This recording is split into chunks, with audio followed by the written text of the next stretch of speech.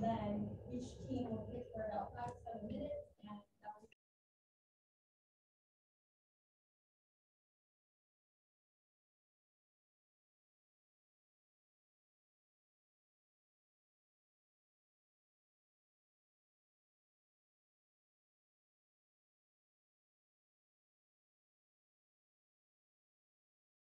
uh, very graciously, graciously agreed to give us uh, speeches to close it out. And then after that, we're gonna have the results announcement. Uh, as Fang has um, indicated before, we will have three teams receiving awards of about 5,500 and four teams receiving about 3K uh, after uh, our finals tonight. Um, so we were just notified uh, that there were some issues with the remote um, technical um. So I'm gonna hold off on introducing the opening keynote speaker until that is resolved. So we apologize for technical difficulties. This is, you know, the Zoom times that we're currently in. So um, yeah, sit tight, we'll uh, resume momentarily. Thank you.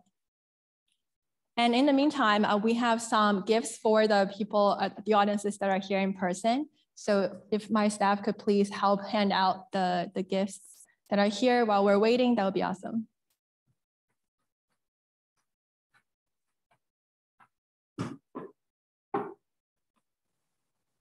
Yeah, thank you for everybody who come, comes in today.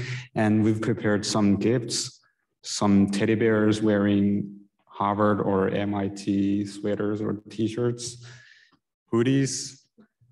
So if you like one, please come into the front.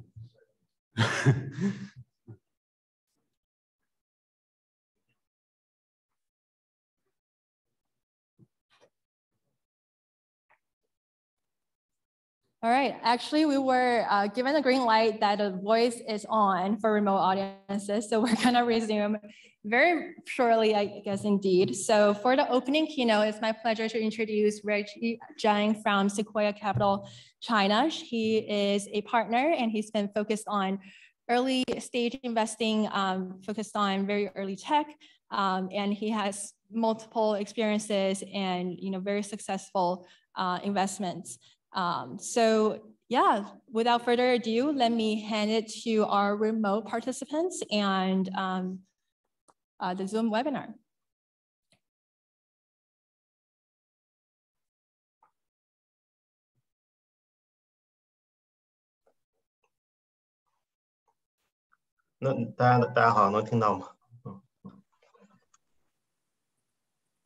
Yeah, we can hear you. Thank you.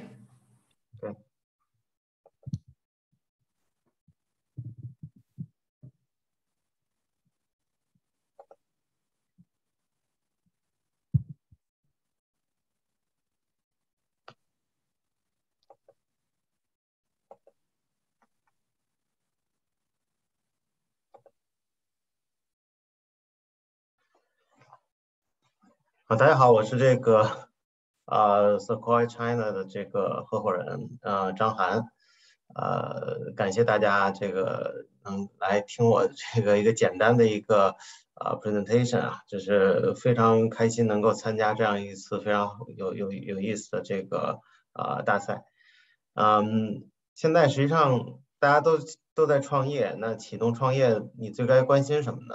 啊，从我们投资人角度来说，可能。啊，其实这方面创业者应该关心的东西其实蛮多的。那最早最重要的是什么呢？我觉得其实从大的方向来讲，其实就是 timing。到二零二二年，现在是一个呃，大家都可以认为它是一个啊很多不确定的一个时期。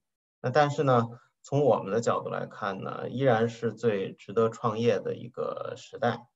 为什么呢？实际上啊，当过去十年。到二十年大的这个平平台型的这个互联网创业这个波机会过去之后，实际上我们可以看到，其实呃基于信息科技的这个啊基于基于 IT 技术的演进，还有包括人工智能等一系列啊平台型技术的改演进，那在交叉方面，交叉科技方面，实际上有非常非常多的 innovation。那在这个这个部分的话，我们发现不断不断的有新的。应用和新的领域因为有这些技术迭代而产生。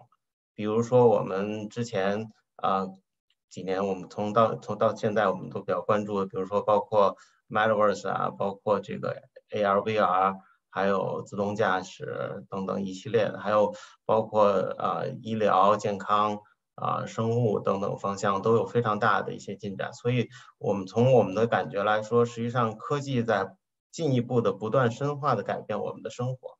所以呢，实际上啊，从科技创业的角度来说，我觉得二零二二依然是一个非常好的机会。另外呢，如果如果这个公司会有啊中国的 China angle 的话，那其实中国市场因为它有一个非常强强劲的国产化替代的一个机会，然后并且整个这个呃国内的这个创新的氛围是非常好的，所以呢，实际上在这个这个环境下。依然有非常好的一个机会去把一个啊初创团队的产品和理念方向在比如说中国市场去实践起来，那中国市场的实践也可能会带动一个未来潜在的一个全球的一个市场的机会，所以我们认为实际上在科技创业这块啊是有非常好的一个 China angle 的。那另外一个呢，呃，最近大家可能也关注到这个二级市场。整体这个科技科技二级呃科技股的表现并不好，那这个从做现在这个时间点来创业来说，实际上我们一直认为早期的公司，尤其是优秀的早期公司，能够穿越这个经济周期，能够穿越这种金融上的一些波动。那原因是这个啊，我们早期的这个科技公司，我们瞄准的可能是下一个时代的一个未来开启的新兴市场。或者是一个这个增量市场，那在早期刚初创的时候，实际上你正是 build up 你的这个啊产品、技术、市场的这么一个时间，所以啊当这个东西这当这部分你找到了下一个时代刚需的时候，和你的最早的这个客户去打磨这些东西的时候，实际上在这个啊你你有可能。啊，还是能够在这个早期拿到足够多的这个 VC 或者是其他的这个资本上的支持。那那在这种情况下，实际上你还是有能力穿越周期的。当当然啊，对于融资的能力来说，实际上在这样的一个周期里头，相对低谷里边可能会啊变得难度有有所增加。但是，一旦啊我们的创业公司拿到钱的话，可能。啊，你的竞争竞争力也都能体现出来了，因为市场上可能呃和你竞争的竞争对手，尤其是其他的 startup，它可能啊融资能力没你强，然后竞争力也执行力也没有你团队强，所以在这个时候实际上并不是一个呃红海的市场。那这个时候如果你切入的是一个未来的刚需点。然后呢，又有一定的一个增量机会，那其实啊，创业周期反而可能对于啊优秀的早期公司来说是个很好的一个机会啊，所以在这个时间点，我我我认为它是一个可能啊真真正应该好好考虑是不是应该进来创业的一个很好的时间点。从我们投资人的角度来说，这个初创公司应该关心什么呢？实际上。啊，也没有太多的新鲜东西啊。大家可以看到，我我这个这个图里头放的东西里头有三个颜色不一样的。那其实啊，换换换换句换句话说，就是啊，找人、找找方向、找钱啊，这个三个不一样的部分。因为这三部分可能是这个整个公司最重要的一个早期初创时候的组成部分。首先，你要有足够强大的一个合伙人团队，然后另外呢。啊，你要有一个足够好的 idea，但是这两个实际上是结合的，因为实际上一个早的创早期创业公司在组建的时候，你你可能从投资人角度希望是一个完美团队，或者说一个比较全面的团队，然后呢有一个非常好的一个创业方向。那这个创业方向呢，这个要和这个呃团队的能力是相互匹配的，所以在这个过程中，实际上。啊，也是啊，早期最重要的一个一个一个，就初初创期最重要的两个因素。那在当这两个因素相对来说是比较这个完善了之后，实际上融资和股东啊，自然而然可能就会会会会会成型，你就会找到你可能想要的股东，然后也拿到你可以拿到的钱。那在这个位置呢，实际上是蛮重要的，因为好的早期的股东可能是陪伴你创业时间最长的那一个机构投资人。那在这个样的机构投资人，你去选择他的时候，实际上你要你就要去看是不是这样的这个真正做到你董事会里的这个投资人，能够和你啊一起去探讨未来的这个方向，还有这个呃能够帮你去这个建呃这个在早期呃初创的时候，帮你一块排除排查很很多你有可能踩的坑。那这个这块的话，我觉得实际上，呃，好的投资人能够给到团队非常好的支持。那其他的部分呢，大家可以看到，团队建设呀、产品研发，这个这些虽然列在有可能十几项，但实际上根据大家业务方向不同，可能还有很多不其他的模块都是要去关注的。但是呢，从我我我们呃做这个呃创业投资这么很多年以来，我们观察到，实际上。呃，本质上来说，呃，创业实际上是一个聚人的过程，所以其实最重要的还是人的因素。那这个巨人的概念，实际上就是说，从你一个人有这个 idea 开始，然后你要影响到你的这个合伙人，然后来加入到你，然后影响到你的股东、投资人来加入到你，然后呢，这个影响到你的、你的、你的整呃团队。团队之后是你的产品，产品其实就对应的是你的用户和你的客户，那包括市场、你的合作伙伴、未来新的这个投资人、券商，包括你的新的这个，包括 IPO 之后的股东，所以整个公司实际上是从一变成几百人、上千人的这个过程，而且你辐射的业务可能是从非常小的范围内。变成越来越大的这个一个很大的市场生态，都是由你来建立的，所以整个这个过程实际上都是巨人。所以我觉得从 CEO 的角度来说，啊，巨人的能力应该是所有的核心能力最重要的之一了。所以我觉得就是在早期的时候，在初创公司的时候，实际上啊，CEO 和整个这个核心团队去把这个整个我们把生态建立起来的整个巨人的这个大的逻辑梳理清楚。那那那把这个啊，包括钱和事情都安排的比较有有有有条理，那那那我们成功的概率就会变得更高。讲几个我们在这个红杉种子基金呃成立以来，就是支持过的这个呃有留学背景的这个 CEO 的故事吧。然后呃有一个这几个公司呢，都是目前我们。准准独角兽公司了，就是发展非常迅速，非常快啊！我们也是想告诉大家，实际上在早期有一个好投资人是非常重要的。这个 Matis 这公司呢，实际上最早呢是呃基于这个 AI 计算和高通量实验来进行这个制剂优化和制剂新药的开发的这么一个公司。但通过我们长期跟他的这个沟通交流，然后帮他梳理这个啊方向，我们实际上。因为它的技术相关性，我们其实帮他一起找到了做这个 mRNA 的这个递送的这个新的更更有前景的一个方向，作为他公司的另一大的主营业务方向。所以在这这个过程中，实际上啊也是互相受益的一个过程。然后呢，公司发展也非常非常好。然后同时，我们也给他们介绍了这个比较大的公司，跟他们进行合作。所以就是从持续支持的角度来说，而且这个公司的最早也是我们呃投过的一家公司，从里面就孵化的一个项目。所以整体来说，我们对这个公司的帮助是非常大的，而且这个公司的发展是啊非常非常好的。另外呢，就是我们和呃其他很多投资人一块都投过这个 Newx，这个这个这个陈航这个同同呃这个这个咱们 MIT 的这个校友。那这个他也是我们给他这个公司在啊，其实是远程就做进行了投资，没有任何的没有见面，因为在疫情比较最严重的时候，我们因为啊对这方面的知识储备和对他们的方向非常的看好，所以远程就做了投资。然后之后呢，我们又帮他们去找了 CXO 级别的这个合伙人。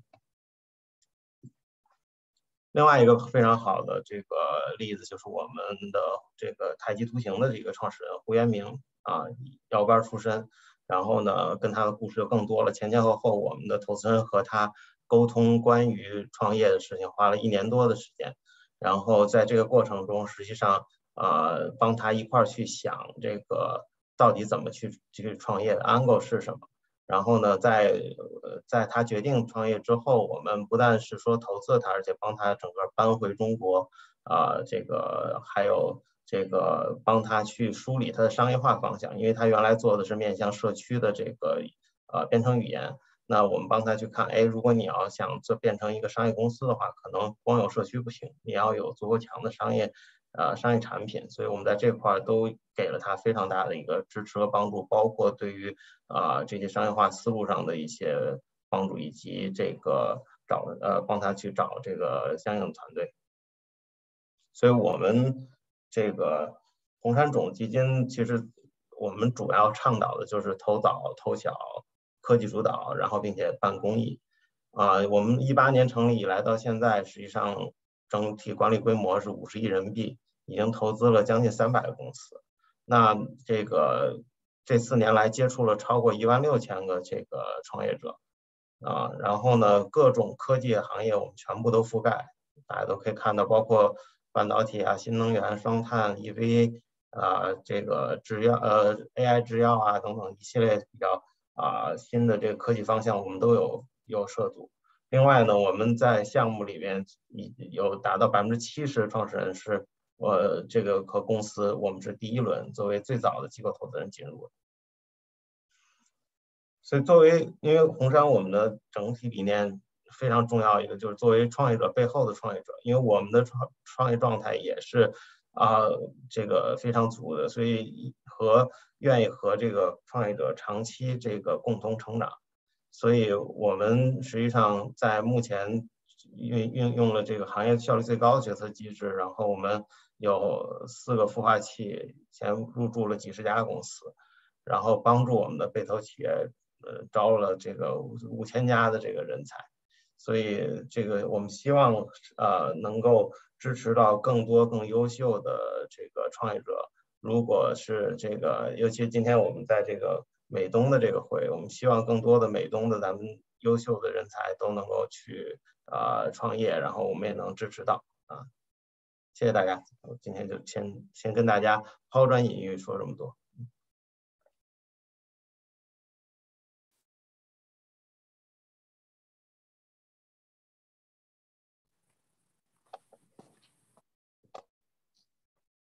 Thank you, Reggie. Thank you very much for your presentation, uh, going over the Sequoia approach. Um, next up, we'll begin the pitches. Um, but before we do that, I would like to introduce our judges who are online uh, this evening. Um, let me share my screen.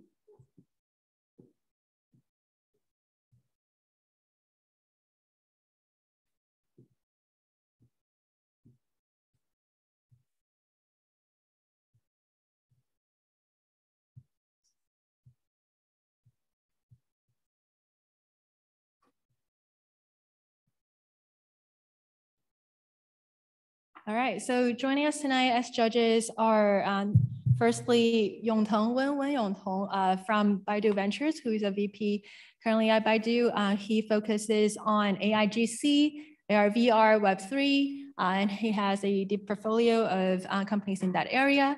We also have Shuo Huang, uh, who's also from Baidu Ventures, who also graduated from our very own Cambridge area, uh, postdoc at Harvard University.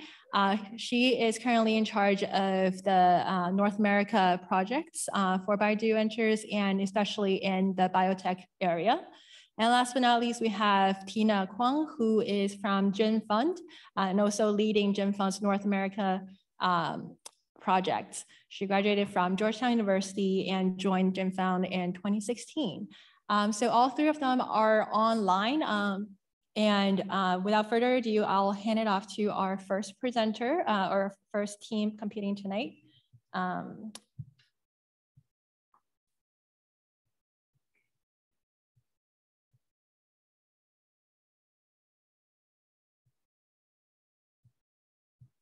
bio.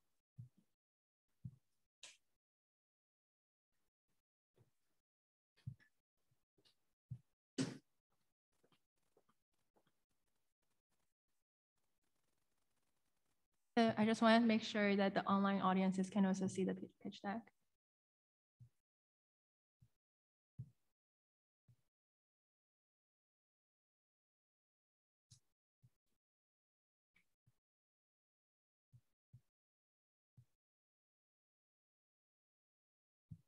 Okay.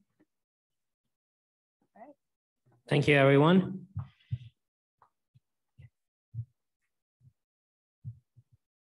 Hi, my name is Krishna, and today I'm going to talk about UpBio and how we are trying to develop the OS of biomanufacturing. As an executive summary for those of you who don't want to listen to the whole pitch, uh, we, are a, a, we are a deep tech company trying to make biomanufacturing easier for the next generation of biotech companies.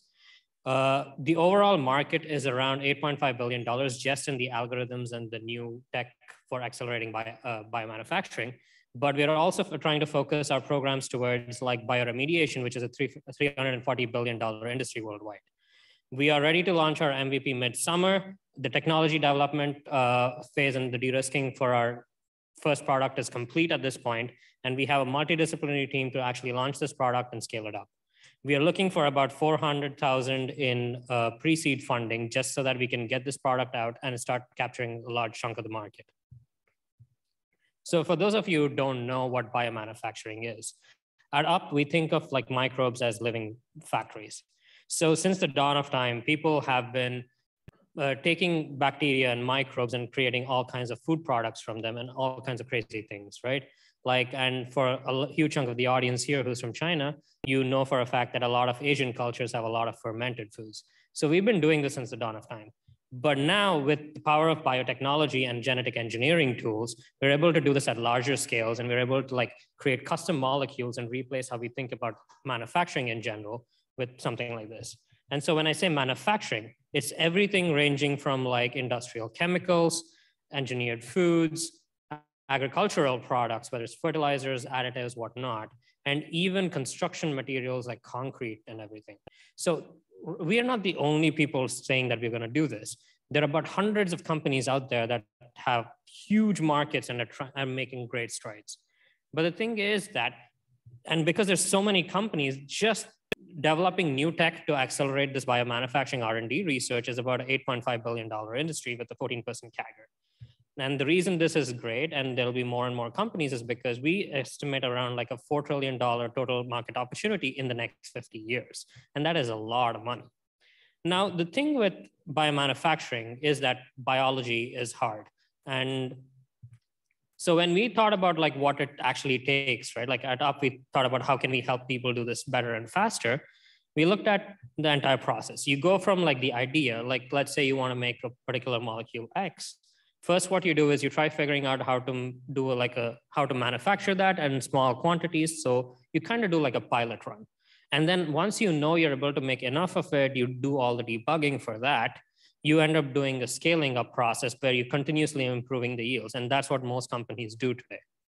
Now, the thing is that this first process is completely manual, which means that if you have an idea saying that you want to make molecule Y from molecule X, it takes anywhere ranging from like a couple of weeks to a couple of months to actually do this. And if you have any errors, you need to go back to the drawing board. And God forbid you miss out something in the entire manufacturing and post-processing step in the scale up, you need to come back to the drawing board and do this all over again.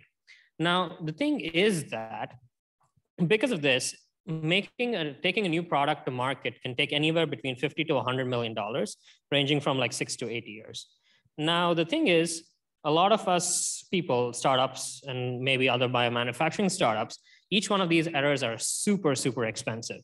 It means that with a single one of these errors if it's badly timed the entire company can go kaput. That means that you know they run out of money run out of runway and this entire venture is useless because nobody they don't have any more money left. So that is exactly why what we're trying to do at UP is to build this biomanufacturing OS. So we're not only talking about building software, but we want to build hardware. Pro we want to build hardware automation assays and also biological libraries that make it easy for all kinds of companies to do biomanufacturing R&D. What we are thinking of is making sure that you know the next generation of people who are solving big problems like glo uh, global warming, climate change, and everything have like a ramp to really start off quickly. So in order to do this, what we're basically saying, as our first product, we're take, building like a biochemistry discovery as a service product. So this is like something like a search engine where you can open up on your browser and start looking for pathways to make your molecules of interest. And so by using this, we we can basically take what would take like three months and three scientists with no guarantees into a consume into a process that would take less than one week based on how wide your constraints are, search constraints are. And by doing this, which means that, you know, like if you are an early stage company trying to figure out what you, is this a product you want to make, or is this another pivot you want to do? You don't spend a lot of time. You can, within a week, completely without anybody's interference, this will get done on the side, and they can actually figure out how to build a business better. Now the, tech, now the way this kind of works is, uh, you know, as a computer scientist, I find this kind of like naive, but we take whatever user inputs are coming in. And what we do in the computer science world is we create what we call a constraint problem. So we take the user query and we mine a data from like public and private databases. And we constrain this computer science problem called like a constraint solving problem. And by solving this constraint solving problem, we find uh, new biochemical pathways which will help enable biomanufacturing. From there, what we do is we run a bunch of machine learning algorithms to optimize for specific as, uh, chassis, as in specific organisms. And from there, we can generate like what are the actual constructs you need to insert into the genome of these organisms to make them manufacture these uh, uh, chemicals. Now, the thing what we also do is that we also optimize for like the post-processing steps, which means that once you build it at scale, you need to separate these molecules, right? Now, these are areas where a lot of companies fail, and there's some big companies which have failed in this step. So we try to optimize for the, uh, those kinds of stages where you need to do conventional chemistry processes. And we also try to optimize for specific organisms. And because of the way we do it is not a machine learning first approach, it's like a more like a constraint solving approach. And then we optimize for uh, different organisms, we can basically develop our libraries to work against multiple things and we can optimize for specific areas. Now, the thing is that this, most of this technology has been de-risked and has been developed over the last few years at Sandia National Lab with uh, funding from the Department of Energy, and we're currently licensing uh, stuff from them in terms of our strategy, like Up, as I mentioned, Up is not only like a software development company. We think of our search engine as our go-to-market strategy where we start collecting data and algorithms which are necessary for helping accelerate other people's R&D. And over that phase, by figuring out what are the uh, most common assays which are necessary to be automated, we want to build out the hardware stack for making a cloud-based optimization and automation solution. And finally, utilizing this entire both software and hardware infrastructure, we want to start developing libraries which will make it a lot more easier to create new kinds of re uh, chemical reaction pathways. Uh, because of the way our search engine works, we believe we are able to like explore more complex engineering uh, paradigms, which are conventionally not taken up by any biologists. Now, right now, uh, the way people do this in industry, the de facto standard is that you have a bunch of scientists read papers. Now, the thing, uh, alternatively, we can uh, they can try getting some open source packages, but that requires them to have like a whole team to get it set up. And they need they can go to consultants, but they're expensive and they don't have any control. What we offer is complete control about how people want to do R&D at an atomic level.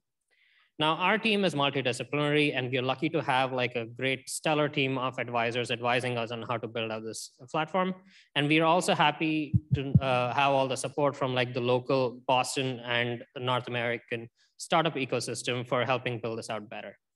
Uh, we are currently uh, plan to launch our MVP midsummer, and we are ready to like take off very soon. Uh, if you have any questions, please feel free to reach out to me, and I'm happy to answer anything you want. Thank you. Thank you, Radha Krishna. And our judges online, please feel free to uh, unmute yourself, turn on your camera, and ask any questions.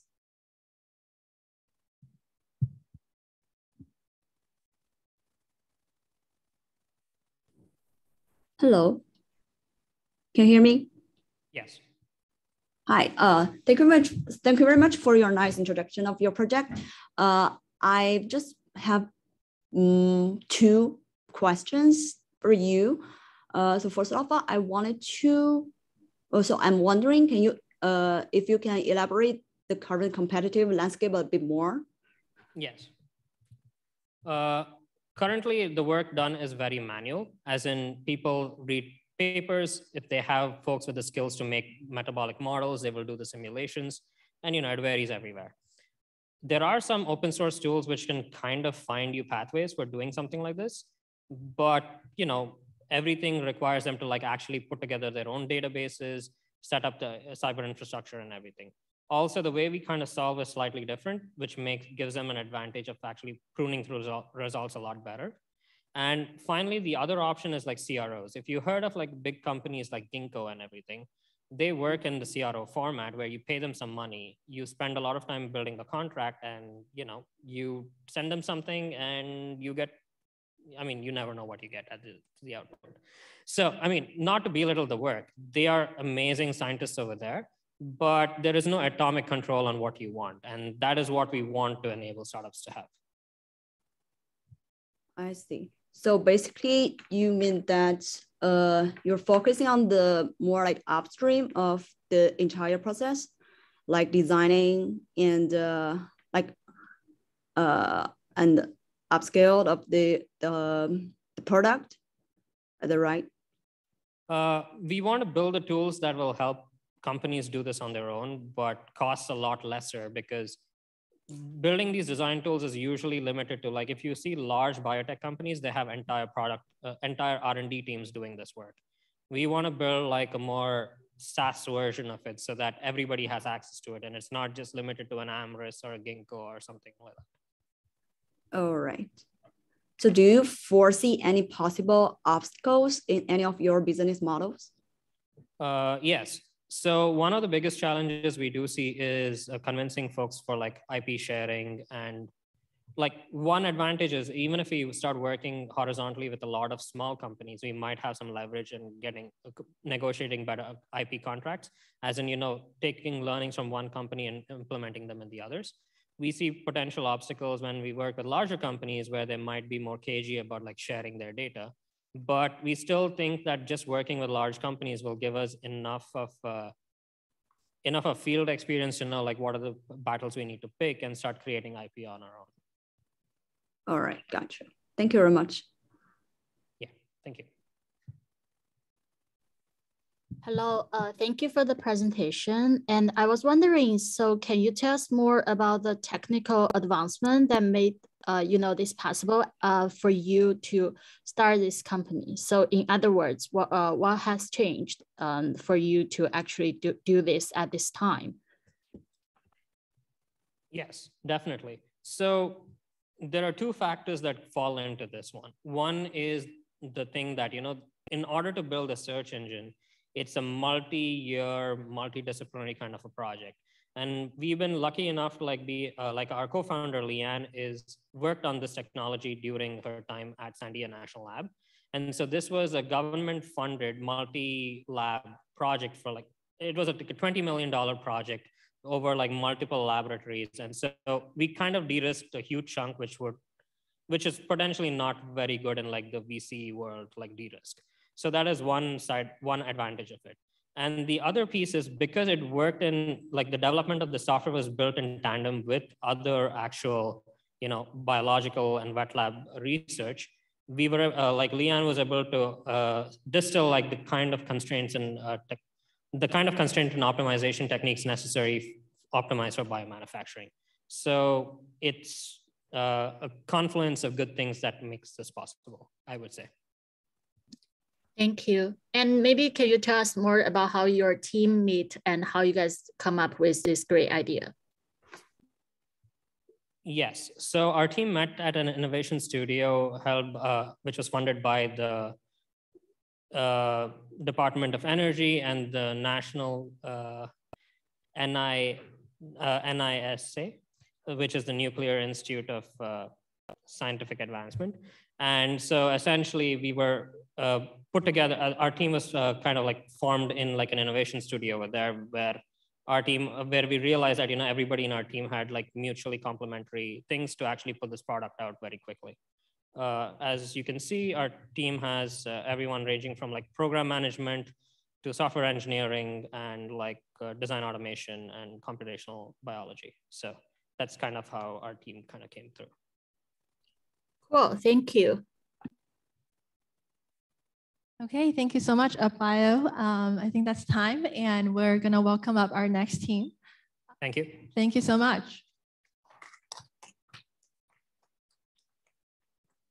Okay, next up we have 3D Architect.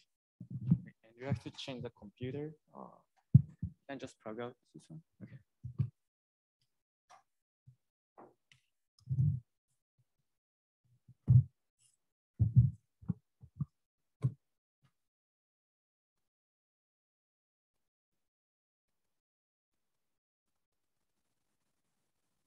And we're gonna do the hybrid presentation and I just connected uh, my co-founder Hideaki. Can you hear me?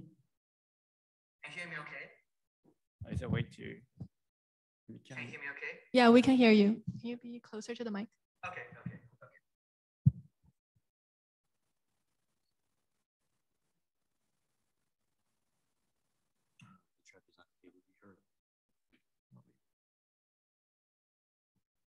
Oh,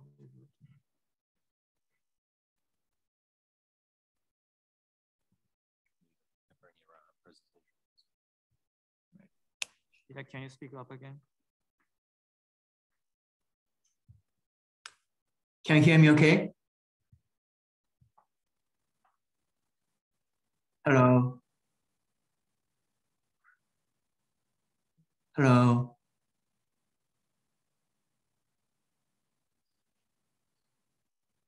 Maybe freezing, sorry. Hello?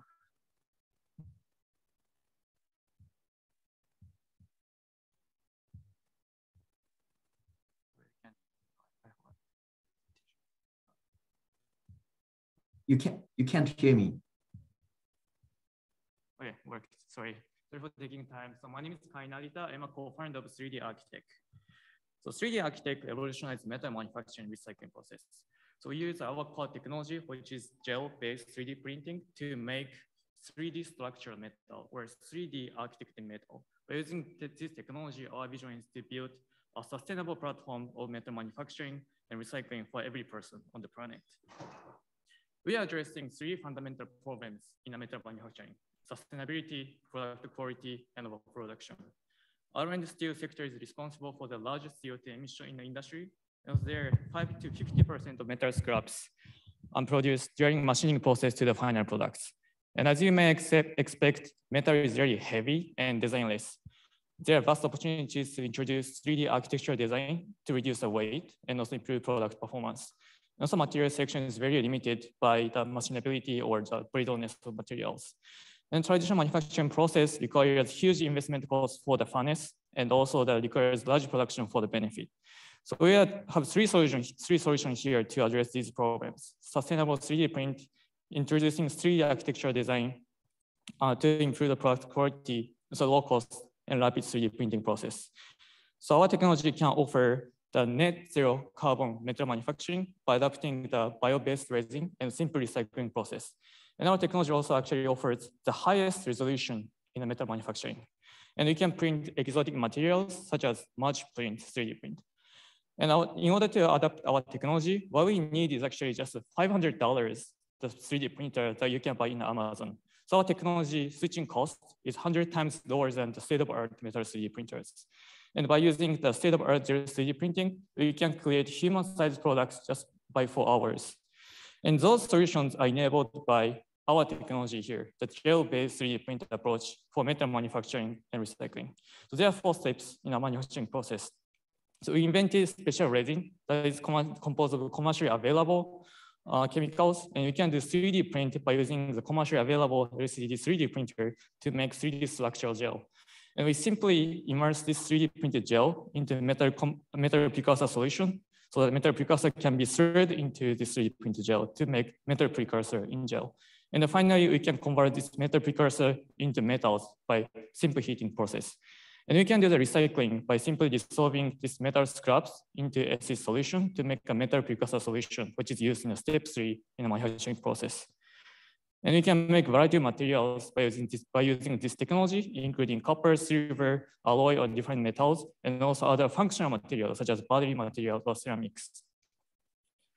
And here's the competitive landscape of our technology by comparing with on the other manufacturing methods that can create 3D custom design metals. So for example, if you wanna make traditional parts that you, that you can make by other technologies, our technology offers the shortest lead time and the lowest equipment cost and lower product costs than other rapid manufacturing processes such as state-of-art metal 3D printers or automated machining, such as CNC machining. And we can go beyond that, which means we can create a product that has never been made by other technologies by taking advantage of minimum feature size and also the much material 3D print and in-house recycling. And then we pass to the Hideaki to talk about more the market we are targeting. Uh, can you hear me okay? I think we cannot hear your voice actually. Hello? Hello? Okay, let me, let me, let me just take over. I think there's technical difficulty here. So you're targeting three uh, markets, the jewelry, lithium batteries, and automotive electrical steel. So we generally target jewelry market because of our high technical readiness level. And we can produce, for example, silver jelly by 1996% reduce CO2 emission and fasten custom design. We're to move on to lithium batteries and automotive electrical steel by taking, by transforming, by translating our know-how, which is we accumulate in jewelry, jewelry market. And we did uh, the market discovery and interviews. For the jewelry market, we did uh, 30, more than 30 plus uh, jewelry designers and interview, and we found that our initial customer segment is jewelry designers who use lost wax casting with 3D CAD data. For those people, there's no switching cost for them to use our technology. What they have to do is that just pr provide 3D CAD data to us, and we can provide 3D design products by one day or two days. And by using this method, we address their pain points, sustainability of production, and what kind design which has high resolution.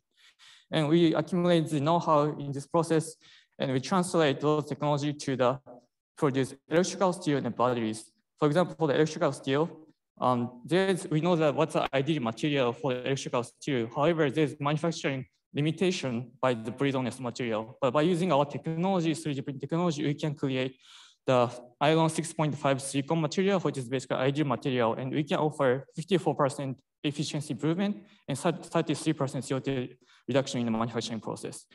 And also one our the target is, a is battery. So you have a high value chain network for the automotive material supplier, uh, battery cell manufacturers. And also one of the automotive companies contacted us to, to make a 3D printed battery. So there's a big interest about 3D printed battery here. And here's our management team. Me as a co-founder, a CEO and CTO. My background is material science. I did manufacturing. I obtained a PhD at Caltech last year. And another co-founder, Hideaki, he's a MBA candidate at UCLA has a lot of experience in the business and the finances.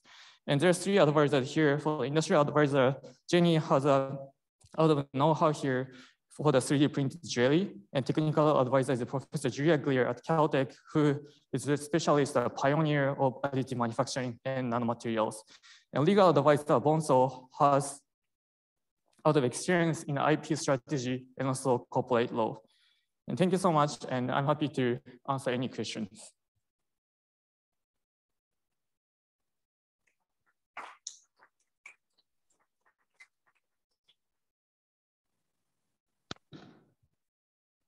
Hey, hi, I'm Yongton from Bali Ventures. Thank you for your presentation.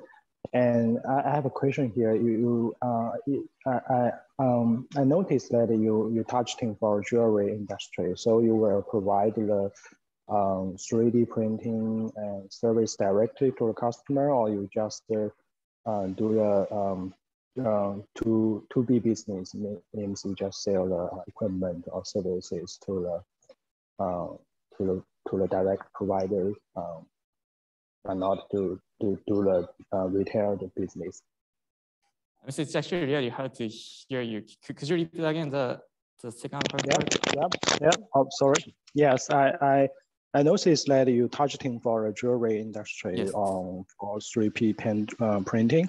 So you will um, provide the uh, 3D printing services direct to, to the customers, or, or you just uh, yep. I got, I got your point. So our business with the first, yep. you're gonna manufacture in-house to provide the 3D architecture, 3D design journey to the designers. And once we found mm -hmm. that we have a very good popularity in our technologies, and we're gonna start licensing to other manufacturers because what they, they have already 3D printers and, and the knowledge about 3D CAD. So their switching cost is really low. What they have to do is just buying a $500 Amazon 3D printer and buying mm-hmm. our special resin. Okay, got you. Thank you.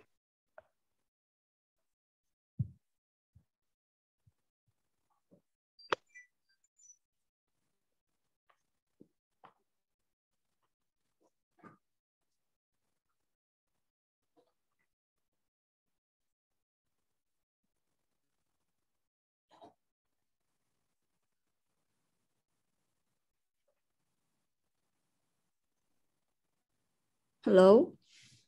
Hello. Hi. Uh, I just have a simple question. Uh, is your tech technology can expand to other material like non-metal material? Yes. So what we can make is basically metal containing materials. So it could be metal oxide, ceramics, and variety of materials basically. So one of the examples is battery materials. That is not pure metal. It's more like lithium, cobalt oxide, or some like complex metals, oxides. So you can make like ceramics, battery materials, other metals and alloys. But oh, okay, I see. Thank you. Thank you.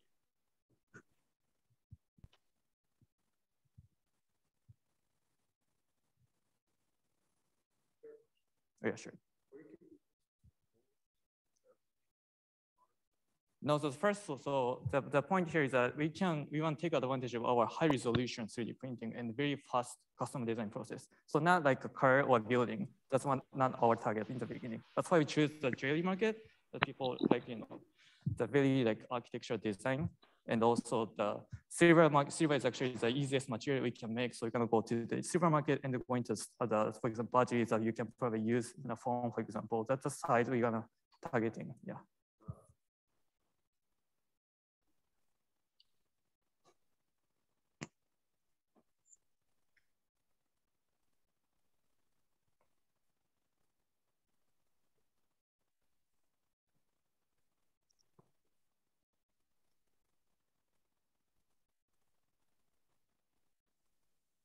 Okay, cool. Yeah, if there are no further questions, thank you so much. Thank you very Um, much. Yeah, thank you, 3D Architect. Okay, we're gonna switch it back to our laptop, and in the meantime, we're gonna line up the next team. Round of applause, thank you.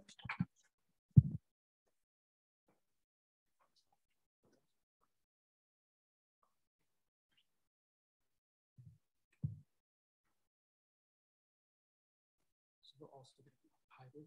So I have a couple of teammates. Great if we can get them all. They're in this meeting, right? Yeah. they in this meeting? They, they are, yeah.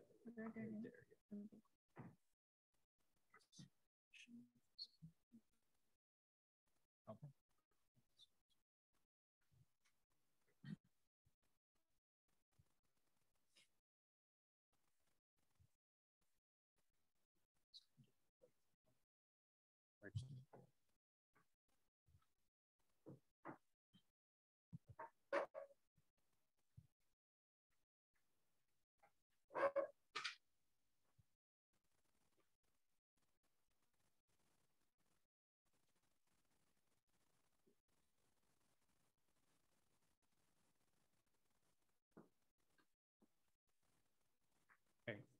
Uh, so Salim, Jack, are you guys uh, guys with me? Can we do an audio check?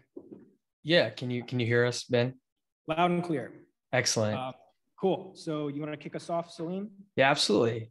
Um, okay, so growing up, I'd always wonder why my dad was always at work. You know, he's missing family vacations, he was missing dinners. Um, but as I grew up, I started helping him at the manufacturing plant that he owned and ran. And I saw the reason was that he had to do a lot of manual verification of processes in order to keep production running smoothly. Um, and as he grew in scale, he started hiring supervisors and managers, um, but they had to do similar things, you know, with clipboards and tracking vital tasks for the plant. Um, and then this is for good reason, because if, if issues in the plant are not caught early, they snowball and they turn into downtime, which is where a lot of the real losses happen. Um, and so this is where we started as a company. You know, did how do we ditch the clipboard and let my dad and people like him have more time to focus on what's important instead of checking off a list on a clipboard. So thank you, and Ben, you can take it from here. Thanks, Salim. So Salim's dad was was pretty busy uh, uh, growing up, and then Salim was uh, right on the front lines with him, working in his dad's factory. Um, and this this issue that his father experienced, uh, where so much of his time was taken up with direct supervisory tasks as opposed to planning the future of the business and focusing on other things that matters. Turns out his father's not alone. It's very, very common for factory managers to spend more than half their time doing direct supervision instead of planning the future of their business. And so we're TriStar AI, and we help eliminate downtime while, while unlocking managers from direct supervisory tasks. And we have, the, we have a perfect team to go after this problem. Uh, our team brings over a decade in automotive industry experience combined with cutting edge academic research. Uh, myself and Jack uh, are from the auto industry. I have over six years with Ford. Jack leads analytics with GM. And Salim spent a year in the Media Lab and finished his master's in medical imaging at Harvard. So let's talk about the cost of downtime. In the industry that Jack and I come from, automotive, just one minute of downtime can lead to more than $22,000 in extra cost. And almost a quarter of those incidents are caused by human error. So what, what's behind this human error? Well, we break it down into three categories.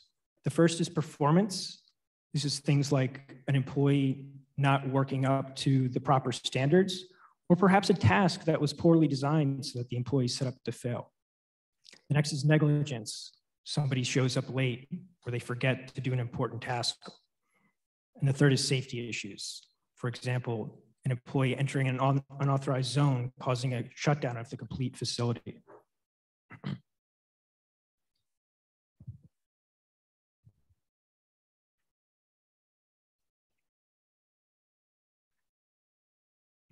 Okay, so to solve this problem, we created the Loom Supervisor. The Loom Supervisor uses existing CCTV cameras throughout the plant and combines that with cutting edge computer vision to perform action classification, operator error detection, and generate process analytics.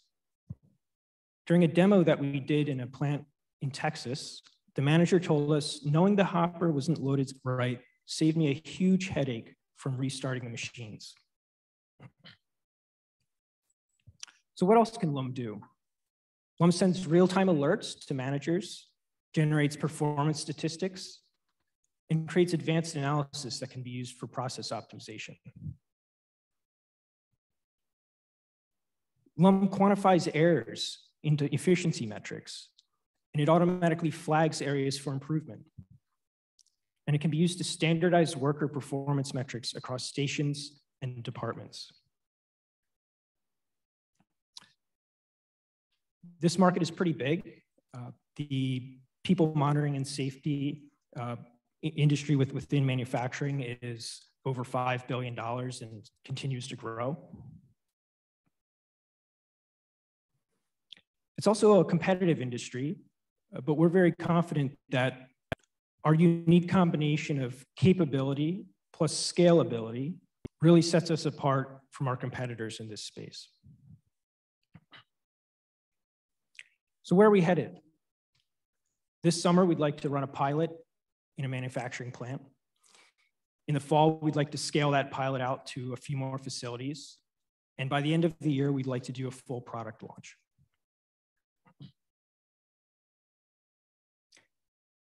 The revenue model is pretty simple. It's a subscription-based service uh, on a per camera basis, and there are additional upsell opportunities uh, through our analytics platform.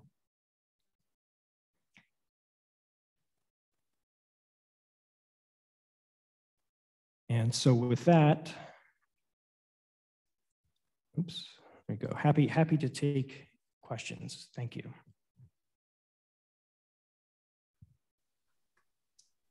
Thank you for your presentation. Uh, I have a question here.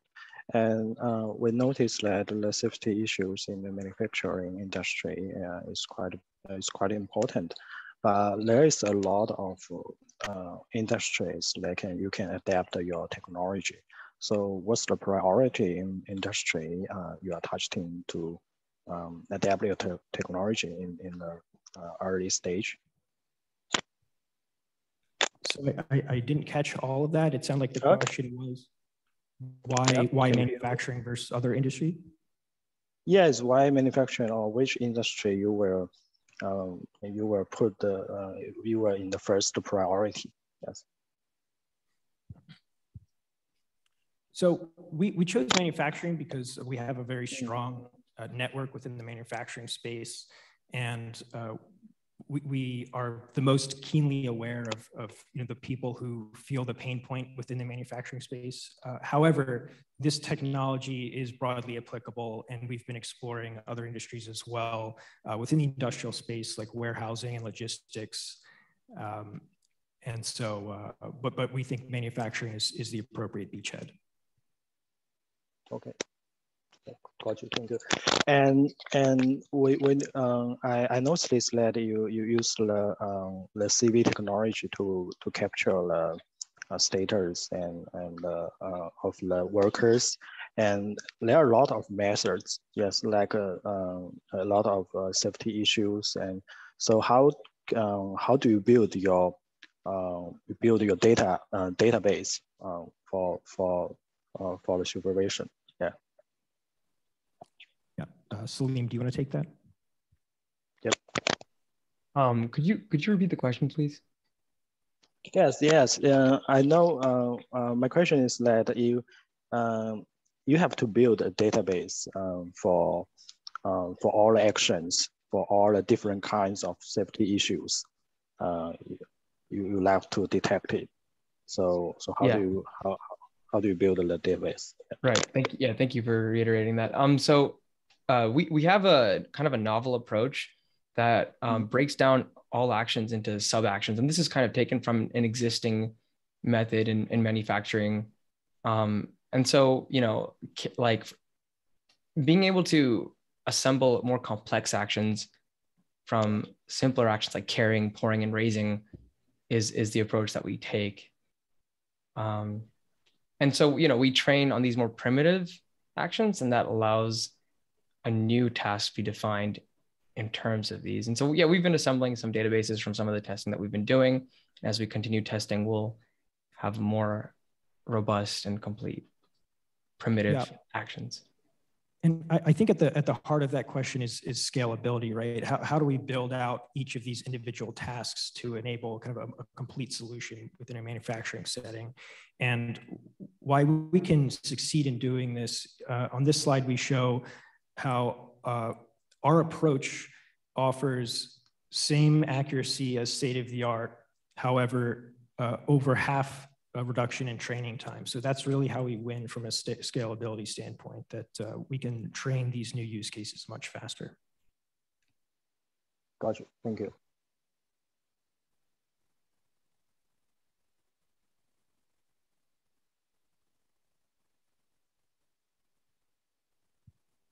Sure. There's a question in the audience. Before I take that, I want to make sure uh, any of the judges have a chance to uh, ask their questions.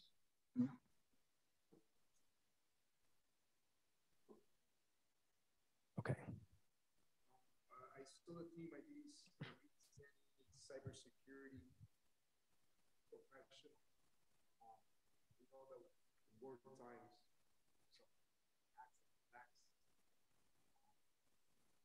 are you going to protect your clients from sort of weak type of attack? Because if we know, I'm in the space questions that you have modeled, um, how many different sites? Even as a dollar one, assured, it's going to get there. False data, viruses, use your AI to the extent that it creates a solution problem. And was years ago, you're still trying to figure it out.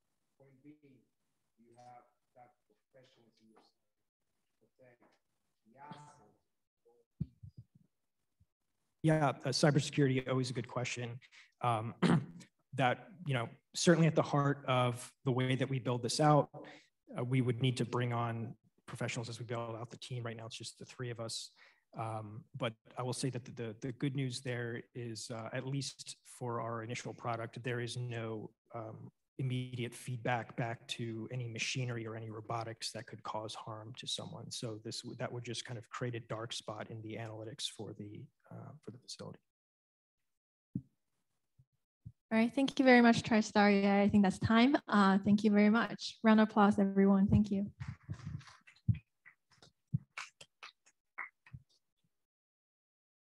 Okay, next up we have RareLink, which is uh, joining us on Zoom.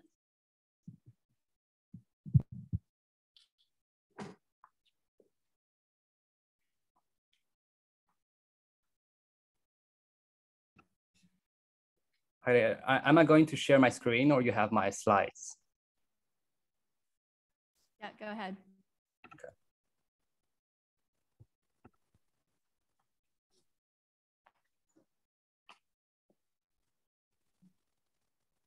Let me know if you see it.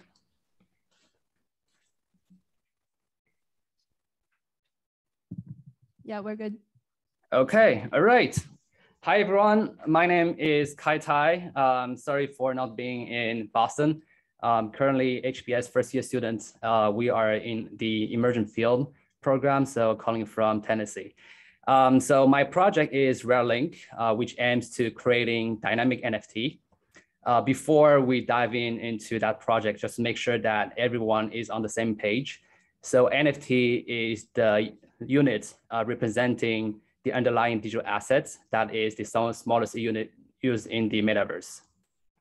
So uh, let's kick it off. So how big is this potential market? Um, so we've seen so far that the metaverse market started around 64 billion USD in 2021, ev uh, evolving, evolving exponentially until the projected uh, 2.1 trillion in 2030 but other bigger banks and institutions have other better uh, projections. So for example, Citibank projecting anything between 8 to 13 trillion, uh, whereas Morgan Stanley is on the 8 trillion side. So we wanted to take a small chunk of that market and let's see what is the current challenges. All right, um, most, of, most of you know the NFT as a profile picture. Um, profile picture and nowadays the challenge is liquidity is very low. Uh, and if you want any owners of NFT to make profits, then the latter has to sell it on the secondary market, depriving the, the latter of potential upside. Uh, the other solution that exists currently is licensing the NFT, but that presents a lot of risk. So what we're trying to do now is offer a platform that will split the ownership and the right to use of that NFT and I will think I will say the add value of our platform is enabling the off-chain information to be added on-chain on the NFT. Uh, so on the next page, we have that diagram. So I'm going to move from the left side to the right side to explain how that platform works. Hi, Ty. Actually, I think ours um, on our screen, your slides are not moving. So if you want to reshare, maybe. Sure.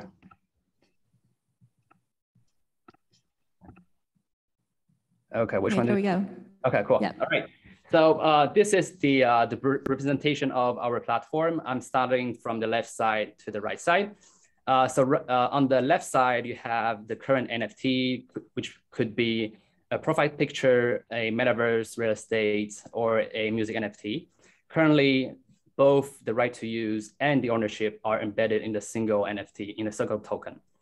So then we move on our platform uh, as I mentioned before, RareLink is the platform that will enable off-chain information to move on-chain.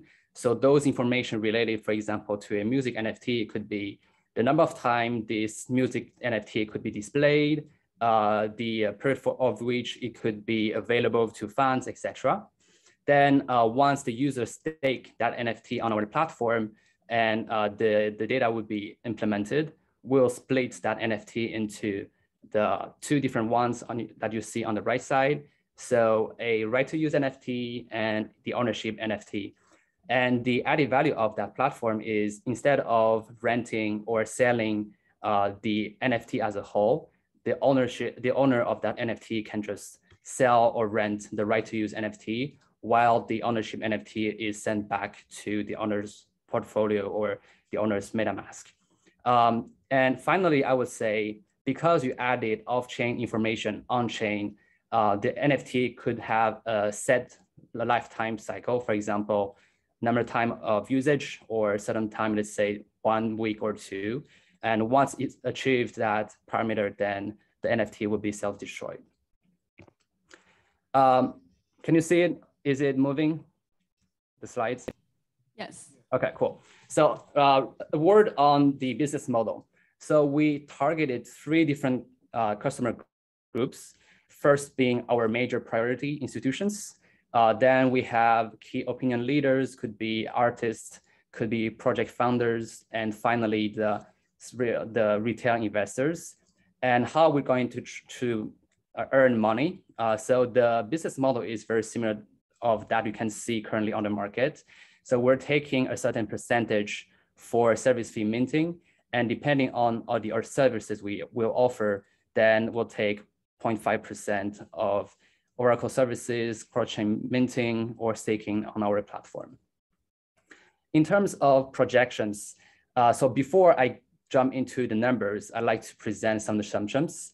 Um, so the following numbers have been calculated using a top-down approach based on the transaction volumes.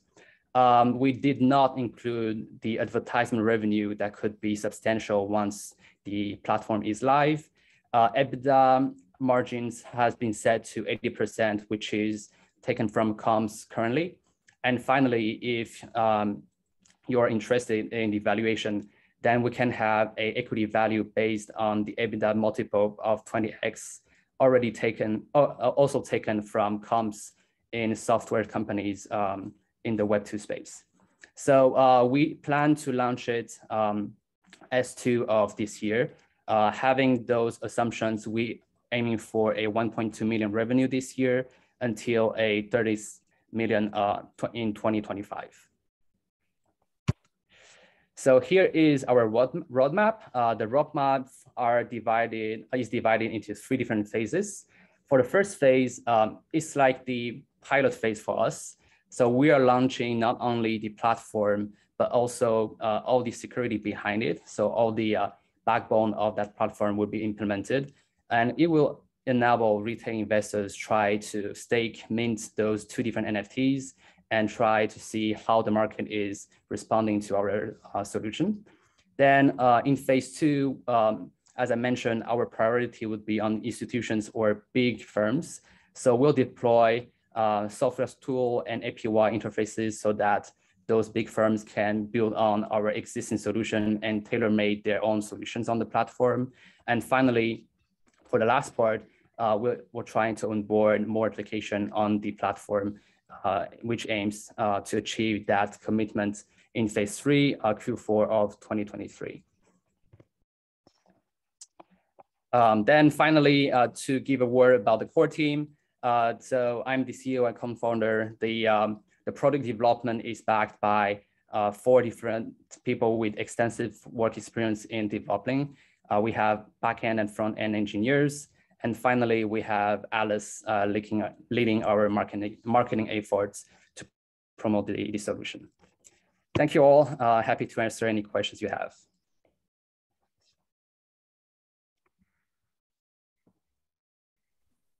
Hello? Yep.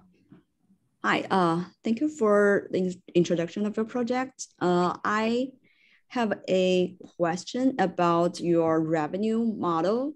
Yep. So I think you showed a uh, showing a slides that you get a charge uh, a certain percentage of fees for different uh, platforms. I'm Yep. just wondering how did you come up with these numbers? Uh, on the, the percentage of the fees, right? Yeah, right. Yeah, so those are based on the current uh, business model from those big NFT marketplaces.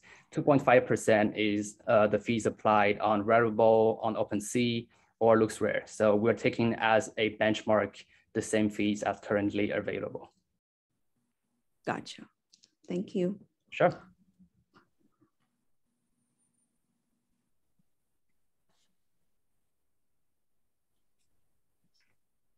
Thank you, Katie. Uh, so I've seen a couple of uh, teams doing these uh, regenerative uh, NFT projects. So can you tell us more about what differentiate uh, your team and what do you think is the success factor of this project? Sure. uh, I would say we have two competitive advantages. First is on the meeting side, that is cross-chain, and second is the Chainlink Oracle that add off-chain information on-chain. So let me elaborate on the first one. So um, currently the NFTs is siloed into the blockchain world. It could be on Ethereum, Solana, but not communication between those different blockchains. But because we have that platform that will mint new NFTs, uh, we can uh, we allow any users to choose where the NFT would be minted. Let's say you have a NFT on Ethereum, then you want it to change on, um, for example, on Solana. Then you mint your right to use NFT on Solana instead of staying in Ethereum. Uh, on the second part, which is off-chain information enabled, uh, so that that is the added value, and I would say uh, there's few uh, projects that currently implemented that solution because it's quite complex from a tech perspective. Um, so in allowing people to have their hand on NFT and to decide the life cycle of this newly minted NFT is crucial from a security and personal ma asset management perspective. So that is why the for those two reasons we think we have certain advance compared to our competitors. Thanks very much. Sure. Hi, hi, can you talk more about the uh, technical side? Uh, uh, especially, I'm wondering, um, is the uh, right to use the NFT is um, is on chain or, or not on chain? I, I, mentioned that you you like to use the Oracle services, so it is it is not on chain database, and and how to make sure the uh, the, the data is on chain and and and the users can protect their uh, uh, assets. Yeah. Um, thank you for the question. I'm not sure I understood uh, at the beginning. So all the information yeah. would be on chain. Okay. Yep. All the information. Yes, okay. yes. And we will rely on decentralized storage uh, provided by all the projects. Um, we, you, you know, the current competitors in the market, uh, but we will mm-hmm. rely on those projects to store our data. And what kind of, uh, um, uh, which sector of uh, you will you would like to employ, the, uh, deploy the, your uh, uh, technology first, like the, all the, the pictures or the music or the videos or, or something like that? Yeah, so we have tractions in three different verticals. I would say the biggest one is with record labels companies, so music side. Then we have the real estate on metaverse and finally, we have the GameFi, you know, all the attributes are now minted on NFT. Mm-hmm. So that is why those three different verticals are the main uh, traction we have so far. If you want me to elaborate on any of those, um, feel free.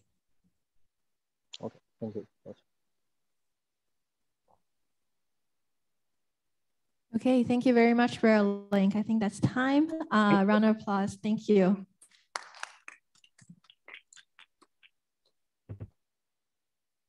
All right, next up we have XStory, who is also joining us online.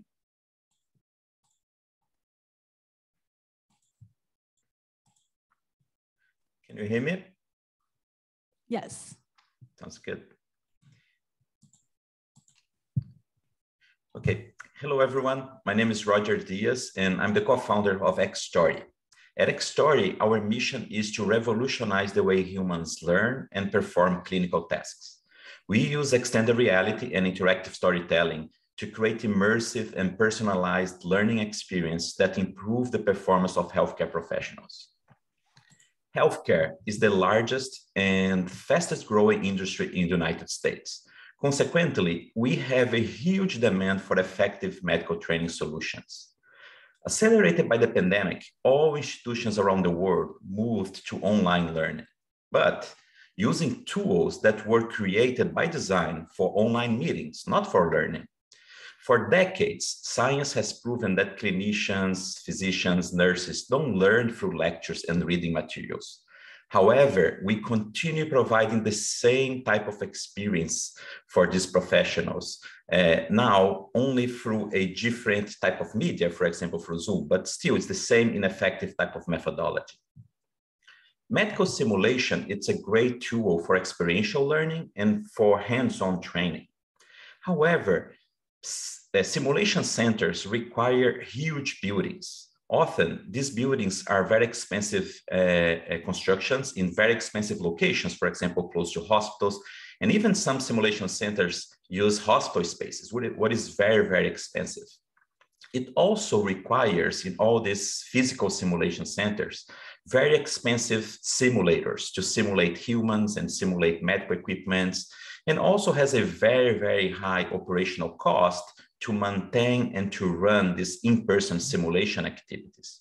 And the reality is really that most community hospitals and clinics, for example, in the United States and more even around the world, do not have access to these state-of-the-art simulation centers.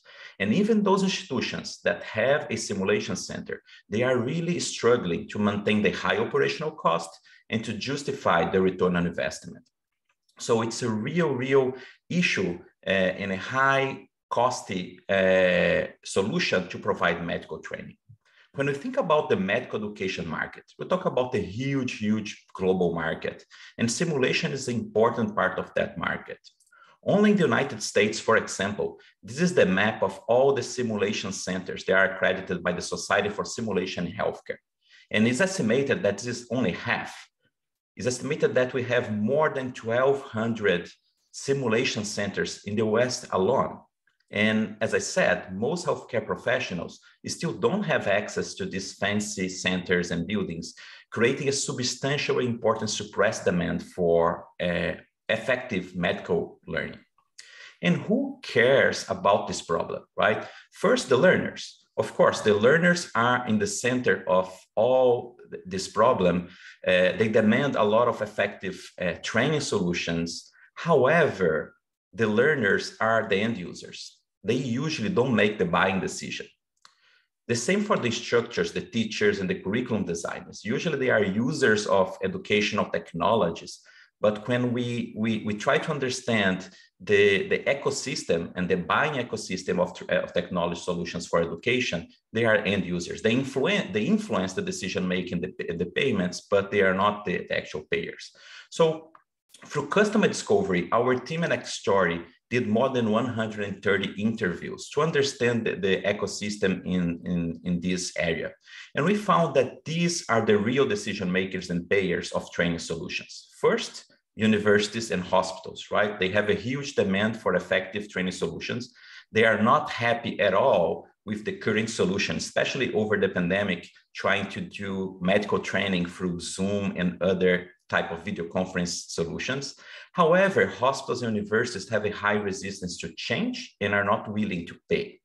What we learn also through our customer discovery uh, interviews is that this specific sector, medical device, pharma, and biotech companies, in addition to have a huge demand for training solutions, they have a blank check. And that's what we heard from many VPs of education training in these companies. They have a blank check for effective training solutions because for these companies, medical device, biotech, pharma, the quality of the training, as better is the training, better is the sales. So training for these companies is, the, is part of their core mission and is directly related to increasing sales of their medical device and pharma company. And that's the reason why at XStory we're focused now at this first stage on this customer segment.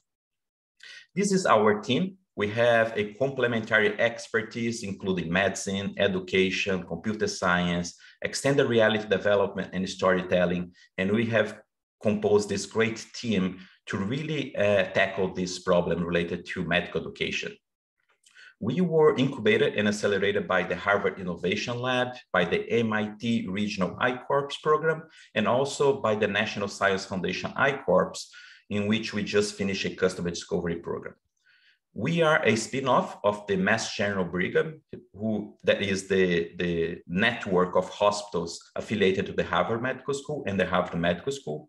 And we were inspired by our previous research on XR training development for NASA and the Department of Defense. Actually, this is how our team uh, uh, uh, started putting together uh, the, the, the XStory team and decided to move forward with this startup. And here are a few uh, examples of the previous work we developed in this area of extended reality uh, using volumetric video for creating highly realistic, as you can see here, and immersive training solutions that can be deployed in any type of device, virtual reality headsets, augmented reality tablets, and even in desktops. Our solution uh, is web-based is a web-based XR platform that streams XR content through the web without the need for users to have high processing computers. On a simple browser, learners can experience our XStories in whatever device they already have. And when we think here about the competitive landscape of extended reality medical education, right? There are like a huge amount of companies. Last time we counted was like more than 250 companies only in the West developing XR solutions for medical education.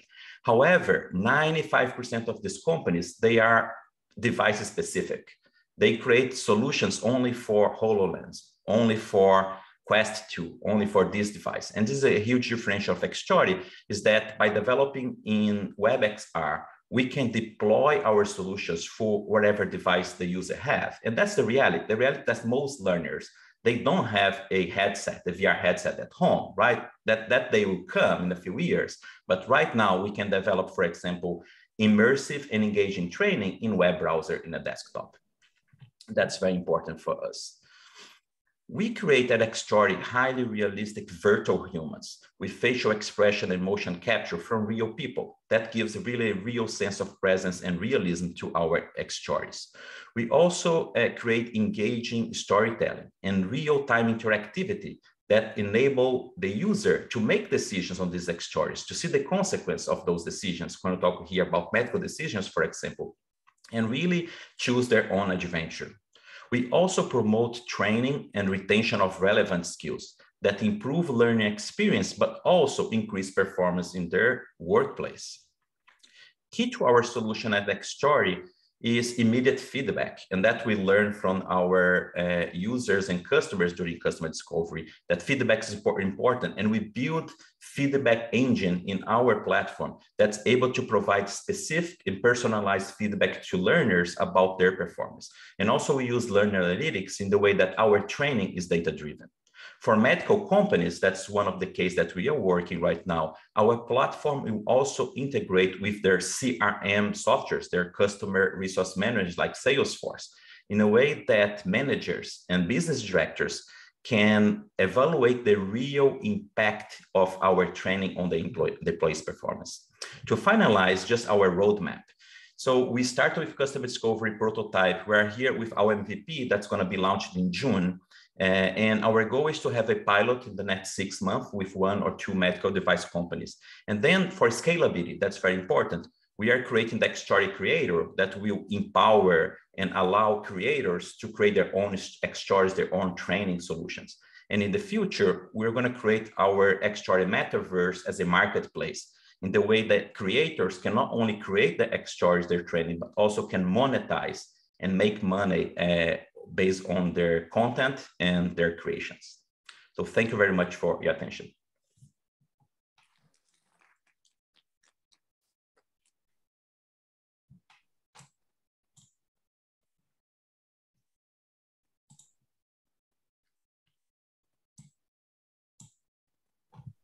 Hello.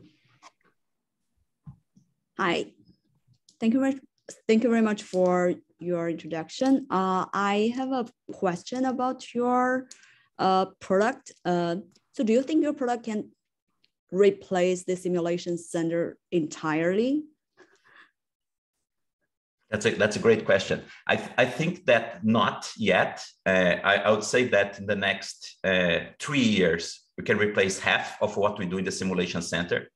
Uh, one of the challenges we have is with haptics, right? Is how to creates tactile sensations for surgical activities.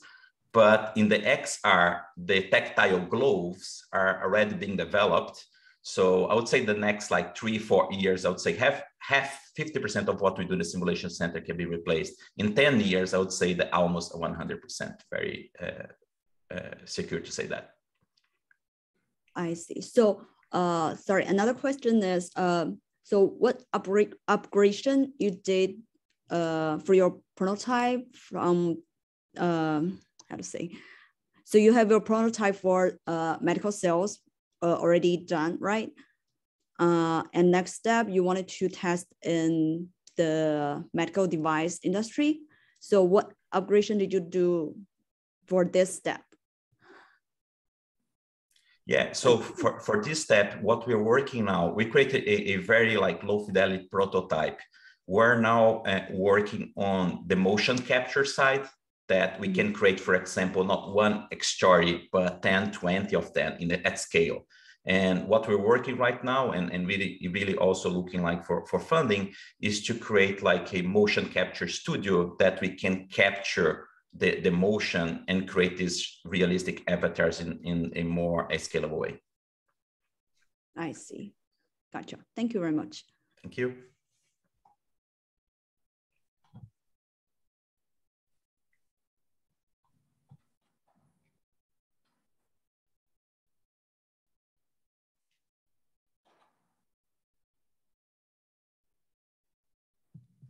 Okay, we have a question from the audience.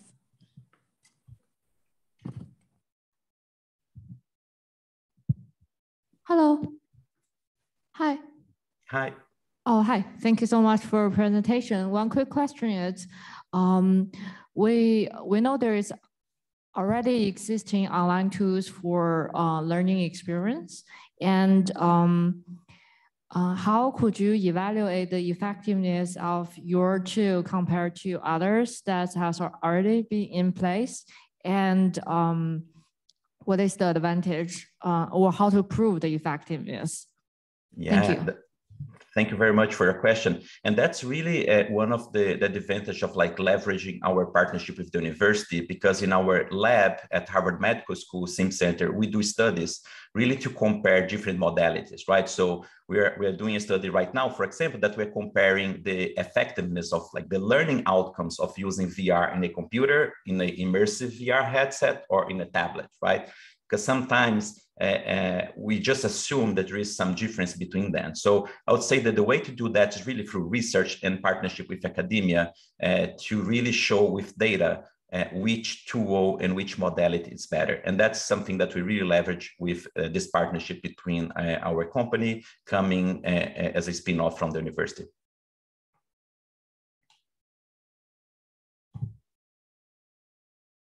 Okay, thank you very much.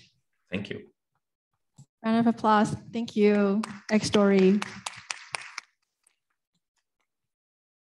Okay, next up we have our next team, Basis AI or Basis. Uh, sorry, um, hope I didn't butcher it, um, who are also presenting online.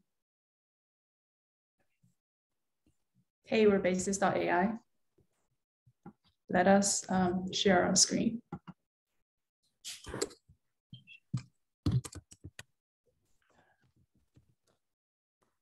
Um, can you guys see the screen? Yeah. Awesome. Hi, we are Basis.ai, and we combined have 17 years of experience in data science, machine learning, and entrepreneurship.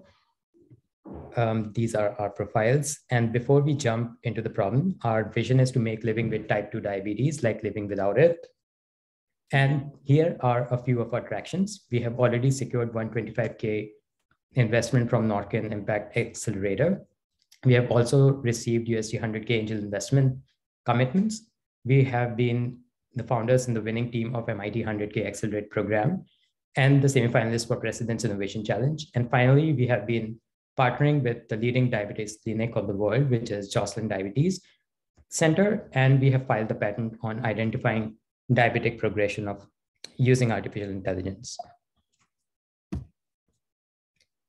So before we jump into the problem, uh, we would like to share a personal story. My dad had unmanaged diabetes for 25 years, and it was a very uh, like it was a very hard problem for my dad to solve, even though he he was very educated, and it was problem it was a problem for his family as well. And this is not just a story; it is a story of 500 million people, and the problem has great uh, numbers associated with it, which includes almost 100 billion dollars loss in revenue for employers and it also amounts to $3,000 loss per patient per year for payers and MCOs. let's jump into the solution. So our solution is a digital health app to help manage metabolic health, including diabetes. Now, there are a lot of details on the slide, but the key point is that we're addressing this using ecosystem as a service. In this ecosystem, we have AI, we have behavioral psychology, digital avatar, and precision nutrition. Most important element is AI, which will be discussed in the next slide. Where we are now in deriving this AI-powered metabolic health solution, well, we have already filed our patent to predict whether patients require clinical interventions and to predict the type of diagnostic checks that they need to have. This is already done. And what's going on right now is that we have we are having clinical validation through our partnership with Joslin Diabetes Center. And our next approach is to validate our tech through the employers, which we have to show two things. One is it reduces the cost, and second is it increases the healthcare outcome of their employees. For the patient app, um, people can track their biomarkers using the app and receive behavioral nudges through it.